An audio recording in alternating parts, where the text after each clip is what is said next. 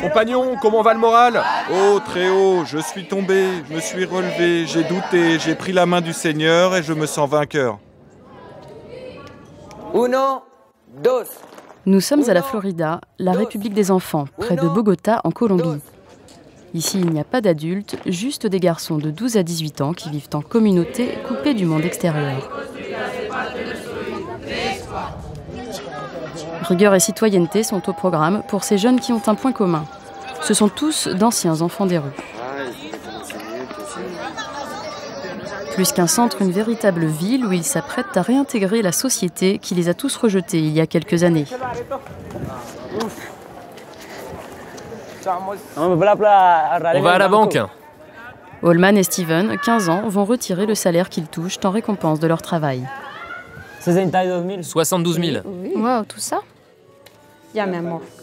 Tu veux seulement que je te change 1000 2, pardon, 400, 800 et 1000. et 1000. Ok?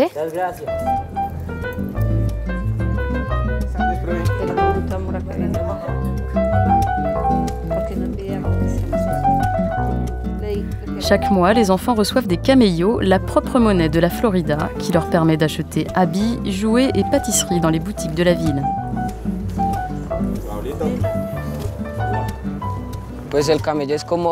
Alors le camello, c'est la monnaie avec laquelle on peut acheter les choses d'ici. Ici, il y a l'image du visage de Don Bosco. Et ici, il y a une devise qui dit Celui qui ne travaille pas ne mange pas. Et cela signifie qu'on doit travailler pour se nourrir, pour pouvoir bien vivre et obtenir les choses que l'on souhaite. Ce programme s'inspire de l'œuvre de Don Bosco, le fondateur de la congrégation salésienne. Dans la seconde moitié du XIXe siècle, il aidait les enfants défavorisés de Turin. La Florida, dernière étape d'un programme de réinsertion des enfants des rues, a été créée en 1974 par Rabier de Nicolo, un prêtre salésien italien. Grâce au père Rabière, plus de 80 000 enfants des rues se sont réinsérés. Cette idée est née dans les années 1967-1968, quand la révolution des jeunes a eu lieu en France. Quand les jeunes ont protesté car ils voulaient changer le système. C'est de là qu'a commencé à émerger l'idée que l'enfant peut participer au gouvernement. Et c'est ainsi qu'est né l'autogouvernement de la Florida. Ici se font les votes, dans ce lieu. On élit le maire et on vote les lois du village. Il y a une constitution du village.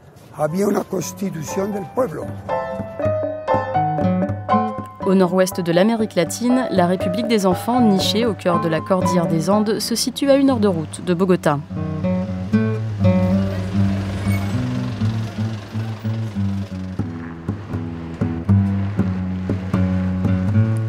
Par les montagnes Montserrat et Guadalupe, d'où la Vierge veille sur la ville, la métropole compte aujourd'hui plus de 10 millions d'habitants.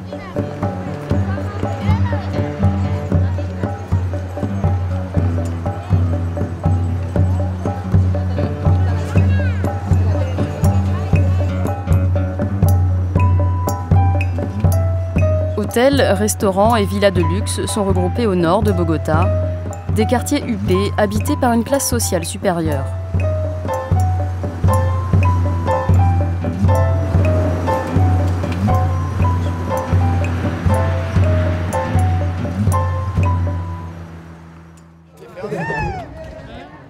Loin de ces quartiers que les habitants des rues appellent la ville rose, la cloche a sonné comme tous les matins à 7 heures à la Florida.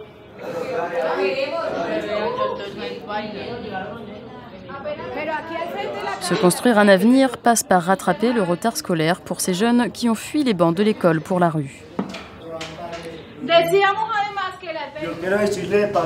Ce que je voudrais dire de la part de mes copains de classe et de toute la Florida, au Père Ravière, c'est que c'est un grand homme.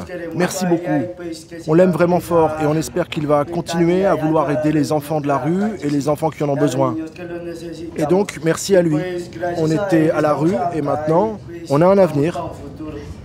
Après les cours, comme chaque mardi, le gouvernement se réunit autour de Jefferson, le maire de la Florida. Chacun de nous a un objectif en rapport avec la communauté. Et on va lutter jusqu'à ce qu'on arrive à atteindre nos objectifs. À 17 ans, Jefferson a été élu par ses compagnons et préside le Conseil des chefs, composé de 12 membres.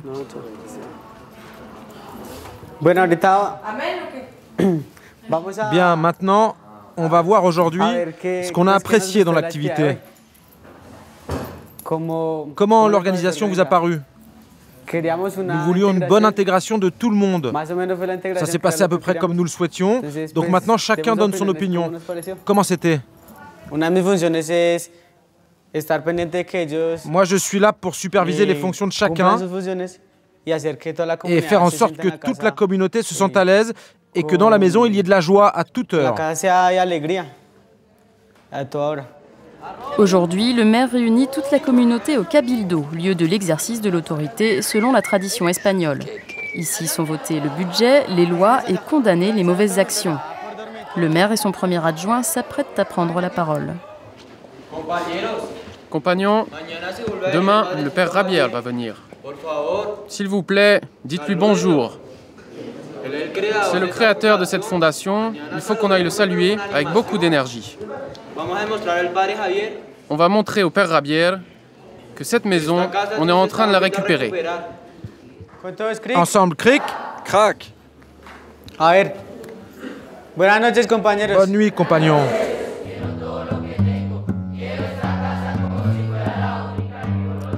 Il y a quatre ans, après le départ en retraite du père Ravière, la République des enfants a bien failli disparaître avec sa monnaie et son gouvernement. Jefferson, arrivé il y a trois ans, joue de son autorité pour reprendre le village en main. Comme beaucoup de ses enfants, il a fui sa famille à cause des mauvais traitements et s'est intégré à ce programme.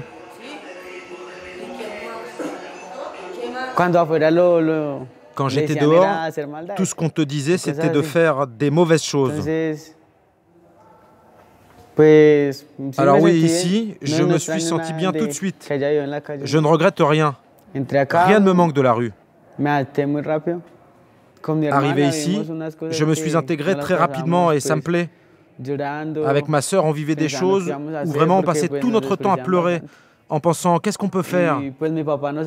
Parce que vraiment on nous méprisait beaucoup et mon papa ne savait pas les choses qui se passaient à la maison. Et parfois, il me juge, il me demande pourquoi tu es au programme. Mais moi, je lui dis que c'est de ma faute et je ne lui dis pas, je ne lui raconte pas.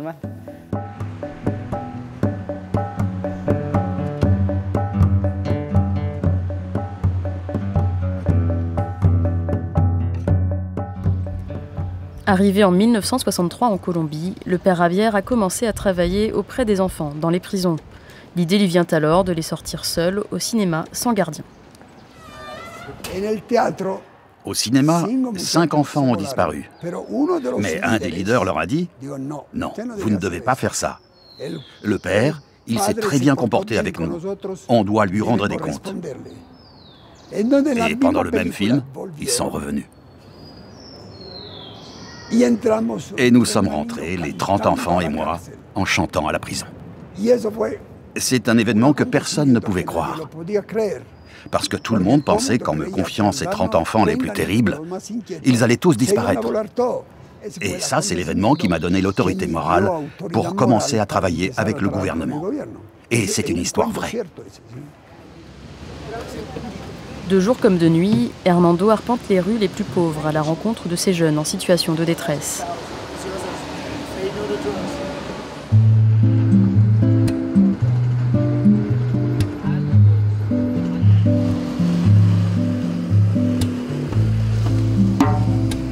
La camionnette sillonne le Bronx, la LA, une zone de non-droit où n'entre pas qui veut. Plus de 2000 habitants des rues s'y entassent pour consommer le basuco, un mélange destructeur de crack et de cocaïne.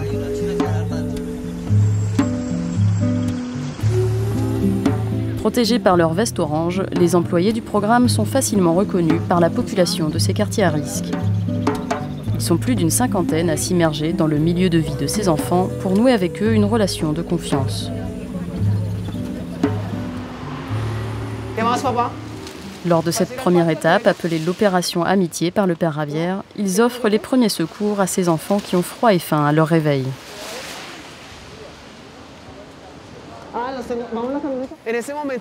Pour l'instant, la première chose à faire, c'est visualiser les jeunes. Et comme c'est une station de bus, il y a beaucoup de gens qui sont en transit et qui passent par ici. Alors le gamin sait qu'à cette heure-là, beaucoup de gens se dirigent vers leur travail. Alors il aborde les gens, c'est-à-dire qu'il mendie. Alors nous, nous allons les approcher doucement, leur parler et leur expliquer qu'il y a une autre option pour eux, que la vie, c'est pas seulement la rue et la drogue. À l'arrêt de bus, nous rencontrons un jeune garçon. Il préfère garder l'anonymat. Nous l'appellerons Esteban. Il a l'attitude agitée du consommateur de Basuco. À 13 ans, Esteban est devenu un de ces enfants des rues pour qui chaque nouvelle journée est une lutte pour la survie. Hernando lui propose de le suivre dans un patio. Ce sont des cours de récréation où les enfants peuvent se reposer sans crainte. C'est dangereux tout ce quartier. La rue, les ghettos, Bogota, la Colombie, tout est dangereux. Il y a les risques qu'on te tue, qu'on t'enlève et qu'on te viole, que la guérilla te kidnappe, qu'on te vole tout ce que tu as gagné quand tu dors, qu'on te coupe un bras pour que tu ailles mendier de l'argent, qu'on te raquette et qu'on te prostitue. Esteban est seul, il n'a pas de parents. Mais pour d'autres, la famille n'est pas toujours une aide. Dans ce quartier ouest de Bogota, les travailleurs sociaux approchent les trapecistas, des adolescents issus de familles défavorisées. Rarement scolarisés, ils vivent du vol et du trafic de drogue. Gustavo est l'un d'entre eux. À la mort de son père, alors qu'il avait 8 ans, il a abandonné l'école. Aujourd'hui, il passe ses journées avec son parche, sa bande, pour vivre de ce que lui-même appelle les vices de la rue. Contrairement à d'autres personnes qui sont nées avec beaucoup de valeurs, eh bien nous on a besoin de suer et de se débrouiller pour les trouver. Et parfois les gens disent que nous, nous sommes mauvais, mais ils ne se rendent pas compte de ce qu'on est réellement nous à l'intérieur, tu vois. Alors on nous regarde et on nous juge sur ce qu'on fait, mais en fait ils ne regardent pas ce que nous sommes, nous, à l'intérieur, tu vois. Donc nous, nous sommes obligés très souvent d'avoir recours aux armes ou à des barres de fer pour aller enlever à certains ce que nous, on n'a pas. Parce que si on ne vole pas, on ne mange pas, tu vois. Donc on va chercher les choses avec nos propres moyens. Et le seul qui collabore en fait avec beaucoup de gens dans la rue, c'est le père Rabière. C'est le seul qui nous appuie, nous et beaucoup d'autres d'entre nous, tu vois une aide à sens unique pour Gustavo qui n'aura suivi le programme que quelques mois. Seuls 25% des jeunes abordés lors de l'opération Amitié parviendront à s'intégrer à ce processus exigeant. Ça, c'était l'opération Amitié. Et dans la rue, éducateurs et enfants deviennent tous très amis. Chacun fait un pas vers l'autre. Et à ce moment-là, il doit y avoir des promesses. Tu me promets, je te promets. Si tu te portes bien, je te donne ça et ça. Bien, allons voir si ça fonctionne.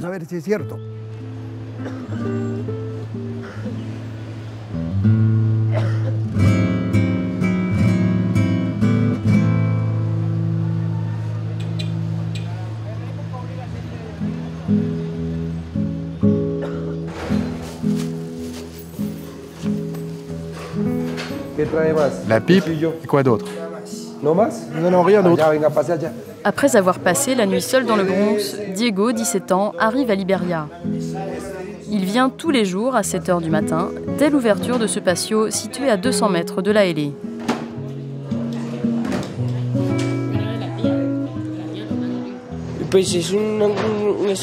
Ce patio est d'un grand secours pour nous, surtout à notre réveil.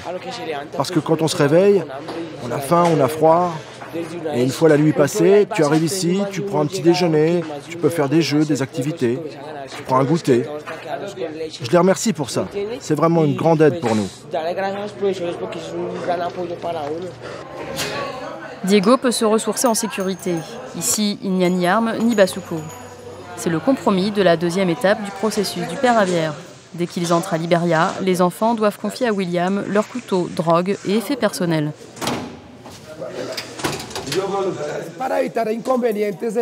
C'est pour éviter les inconvénients au sein du foyer. Si quelque chose se perd, alors ils vont commencer à se battre. Par exemple, ce couteau, l'arme qu'il porte dehors. Le jeune l'emmène ici à chaque fois. Et en entrant dans l'unité, il me demande de lui garder. Je lui garde et à la sortie, il la récupère. C'est l'arme qu'il utilise ou qu'il porte dehors pour différentes choses. C'est le compromis avec le foyer.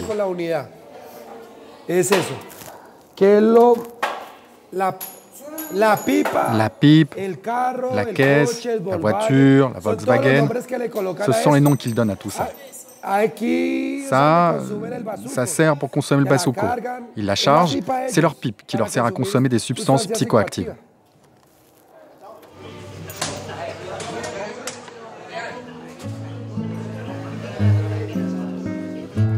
Retrouver une hygiène, manger avec découvert, apprendre à jouer, le quotidien d'une enfance classique que ces jeunes vont tenter de se réapproprier.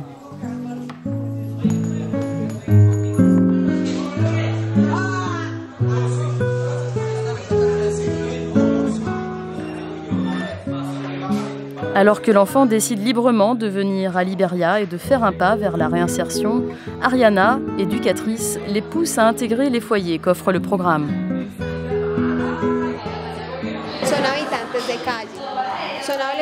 Ce sont des habitants de la rue. Ils sont habitués à consommer de la drogue et nous essayons de leur faire pratiquer des activités ensemble. Ils viennent jouer, nous parlons et l'idée de se réinsérer grandit alors en eux.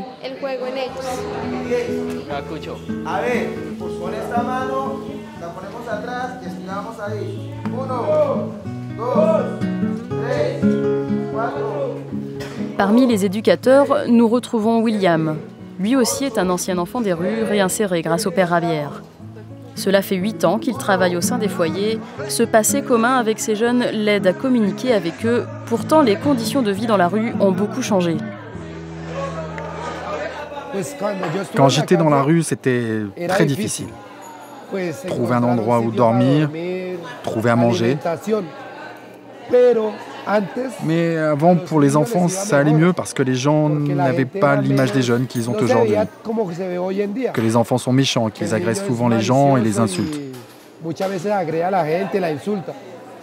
Avant, il y en a qui demandaient du pain, on leur donnait un morceau de pain. Ou bien ils demandaient l'aumône et on leur donnait une pièce parce qu'ils étaient en petit groupe. C'était un peu moins compliqué. La population a énormément changé. Les enfants étaient beaucoup plus conscients qu'aujourd'hui. Après le déjeuner, l'ambiance n'est plus la même à Liberia. Le manque de drogue se fait sentir par l'agressivité et par la fatigue.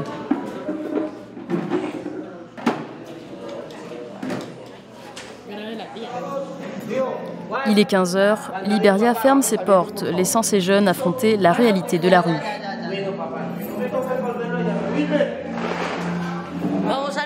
On va au Bronx On va au Bronx Ils vont se mettre en quête de 1500 pesos, l'équivalent de 50 centimes d'euros, pour acheter une dose de l'élixir qui leur permet de tout oublier, le basuko. Diego a fumé sa première pipe il y a 4 ans. Accro à cette drogue qui rend dépendant à la première bouffée, il espère pouvoir bientôt quitter le Bronx. Pour cela, il doit se rendre chaque jour à Liberia pendant un mois et choisir entre deux libertés, celle de la rue et celle des foyers. Pour être sincère, ça n'a pas vraiment amélioré ma vie, parce que je reste tout le temps le même ici. Si ça avait vraiment amélioré ma vie, j'aurais un travail. Alors là, oui. Là, je suis en train de perdre mon temps. Le temps de la réflexion n'est pas encore arrivé. Quand il arrivera, je me demanderai ce que je fais de mal. Avec l'aide de Dieu et la mienne, je sais que je peux aller de l'avant. S'il réussit à passer l'étape supérieure, Diego se rendra en internat. Une volonté de changer qui lui vient de sa rencontre avec le père Ravière.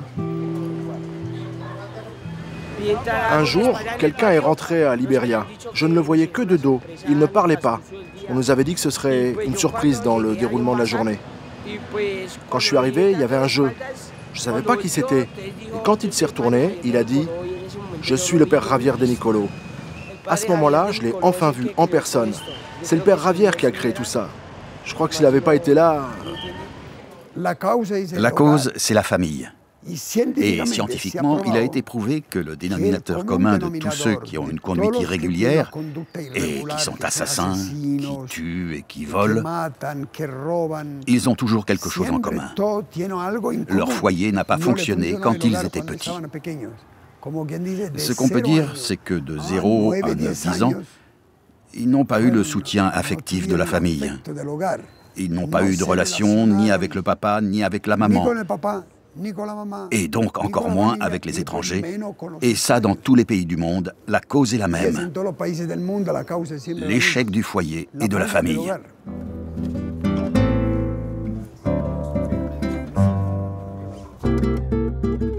Lorsque l'enfant choisit de quitter la rue, il intègre un foyer transitoire où le temps est partagé entre les cours et les ateliers. Tout comme à la Florida, où les enfants reçoivent un salaire en échange de leurs travaux.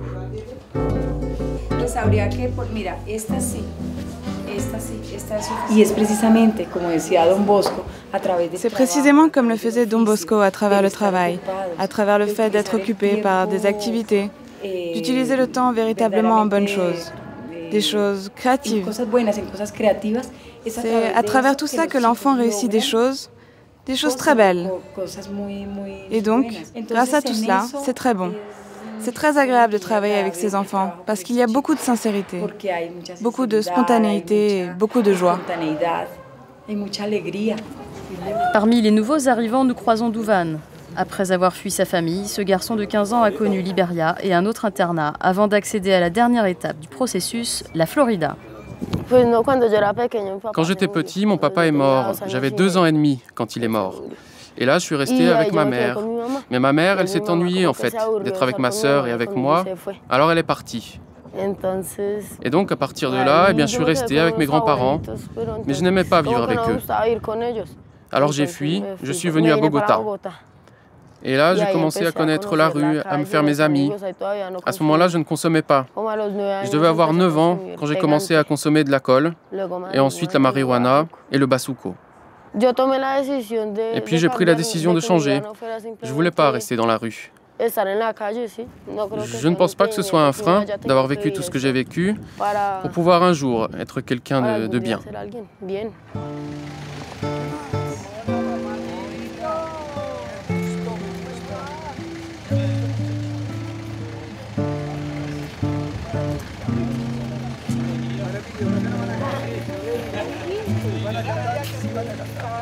¿Qué más? ¿Qué más, lindo? ¿Cómo estamos? Yo lo voy a tocar.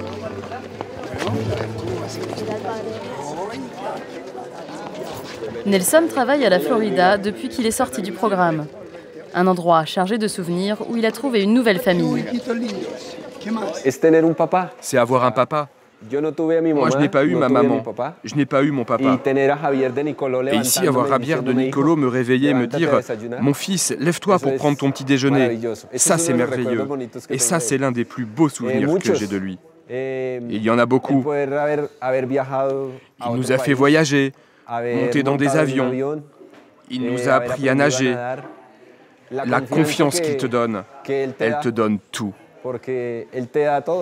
Moi, je me rappelle très bien des écrits bouddhistes. Je ne suis pas bouddhiste, mais Bouddha a une très belle attitude quand il dit ⁇ Quand je mourrai, ne me pleurez pas ⁇ Le service que vous pouvez me rendre, c'est de vérifier s'il y a une voix qui vous invite à faire quelque chose. Et si cette voix existe, en fait, on se rend compte que moi, je me sauve quand Dieu est content de moi. Et là, on dit Ah, le Père, le Père, il est grand, il est très grand. Bon, merci, merci, mais bon.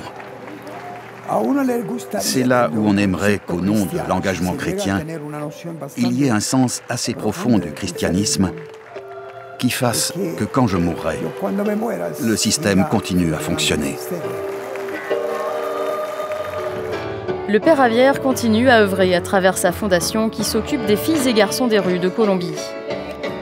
Avec 123 foyers à son actif, il compte aujourd'hui sur cette nouvelle génération pour prendre le relais.